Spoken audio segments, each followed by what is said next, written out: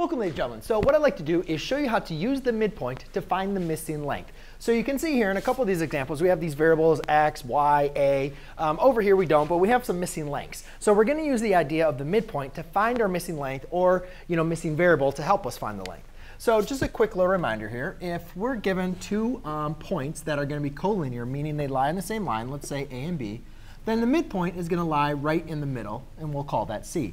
The important thing that we're going to use um, in this video is that the idea that the C, you know, basically bisects what we call our points A and B, meaning it splits it in half, right? So therefore, AC is going to be equal to the distance of CB. Those distances are equal. So whenever we find a midpoint, we know that both sides are equal, and that's very, very important. Um, we also know that you know the distance from AC plus the distance from CB is equal to the distance from A to C, right? And the distance of AC or the distance from C to B is half the distance from A to B. Those are some important things that we're going to get into. So let's first just kind of discover, kind of learn about them um, without kind of the crazy equations and variables. And let's just kind of work on them with a basic understanding. So in this case, if I have AC, which is going to be 30, if I want to figure out what AB and BC is, well, I know that if here's AB, I know that um, half of that is going to be you know, 15, right? And well, since AC is congruent to CB, I know that that length has to be 15 as well. So just using our understanding of our midpoint, if we're given one length in this scenario, and notice how all my points are collinear, right? They all lie in the same line. We can identify that those two points are going to um, get equal 15 and 15. In this case, we have DE is now equal to 8. Well, what's important about now we know that in the midpoint, we know that EF is also going to be equal to 8. And then the distance from D to F is going to be those two values combined, which will be 16. Okay? So now, basically, we just kind of did two different modes. We talked about you know, giving the, the, the, the length of the segment, as well as just giving one angle from, or one from the midpoint to the endpoint, and then finding the other, finding the other two values. So we can use these two ideas that we did over here to now use them with uh, problems that are going to be a little bit more confusing because now they have our variables x and y. However, the process and the idea is still exactly the same.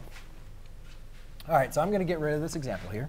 And let's kind of write in here. So if I know gh is x plus 5, g to h is x plus 5, and h to i is 2x, then what is g to i? OK, so we got to be able to figure out what x is before we can figure those out. So the main important thing is we got to understand is remember that since h, oh, and I didn't mention to this, I, you know, usually on a problem they'll say, you know, h is the midpoint, n is the midpoint, q is the endpoint, and r, k is the endpoint. So I'll just let you know, you have to tell you that those are the midpoints. Otherwise, you couldn't do this. But since I know this is the midpoint, I know those two are equal to each other. So therefore, I can write the equation x plus 5 is equal to 2x.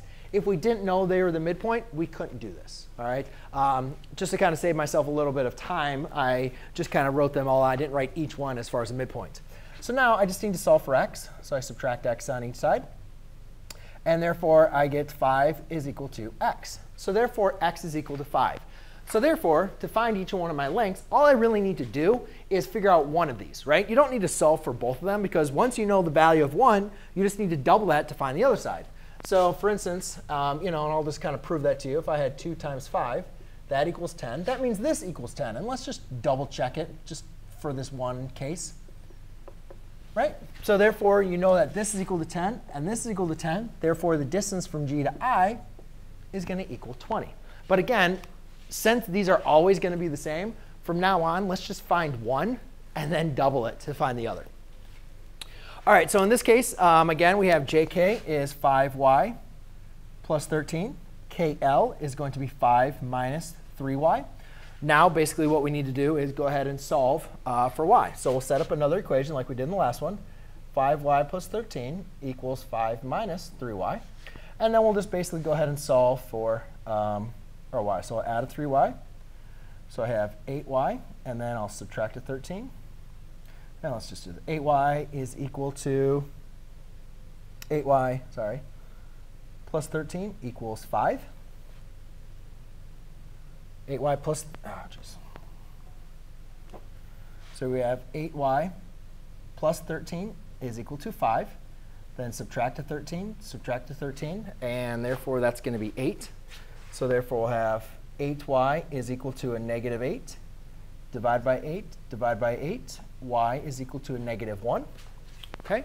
Now we can just go and plug this in there. So I can do 5 times negative 1 plus 13. And we can see that that's going to be negative 5. So that's going to equal, again, 8. And let's just double check to make sure. If I plugged in a negative 1 for y, that would be a positive 3. So plus 8, that would equal 8. So therefore, if that's 8 and that's 8, that means my length from j to l is going to be 16. Basically going to be the double.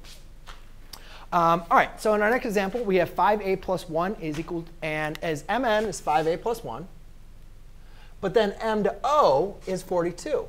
So now we don't have two sides that set equal to each other, but now we have one expression, and then we have the whole length. Now again, we got to go back to what we understood as far as when we had a problem similar like that with numbers. And I think a lot of times when you're doing problems like this, if you get stuck, go back to the problems that were very simple that had the numbers and relate to them.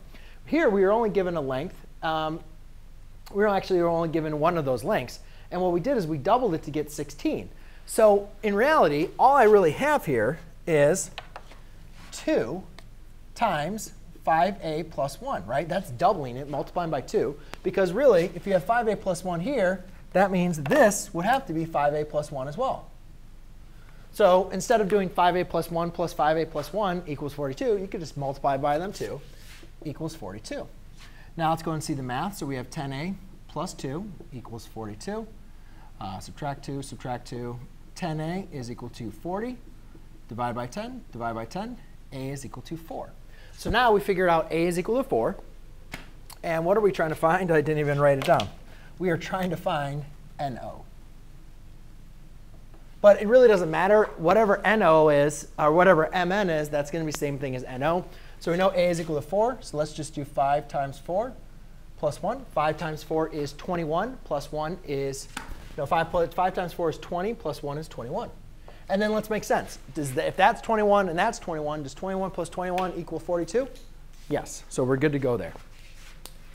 Um, ah, okay. Ah, I think I do have those. Yes, I do. OK. Um, in this example, we have P, Q, Q, R. So in this example, um, it's very similar to the other one. We have QR is going to be 7x minus 15. And this one, we have PR, which is the distance from both of them, is equal to 33. So we're going to do the same thing. We have 7x minus 15. Um, actually, let's just do it. Let's do it the other way. So if here's 7x minus 15, since these are the same, right, since q is the midpoint, that means that 7x minus 15 is over here as well. So I'm going to write this one out the long way just so you can see. You can do it multiply by 2, but if that didn't make sense to you, hopefully this way does.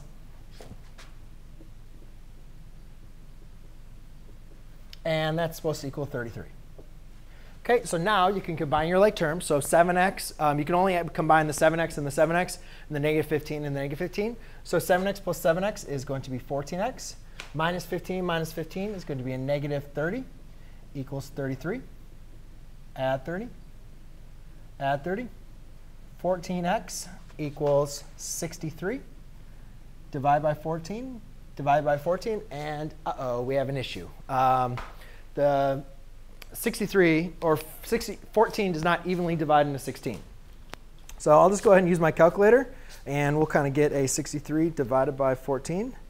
And we get 4.5. So we'll just leave that. Um, leave that as a decimal. A lot of times you can reduce that as a fraction. Um, 4.5 divide by 2, no.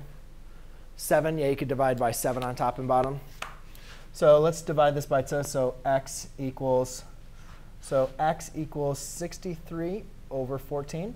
7 goes into the numerator uh, 9 times, and then uh, 7 goes into the denominator. So you could also write this as 9 halves, or x equals 4.5.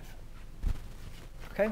So there you go, ladies and gentlemen. That is how you use the midpoint to find your missing length um, and variable. Thanks.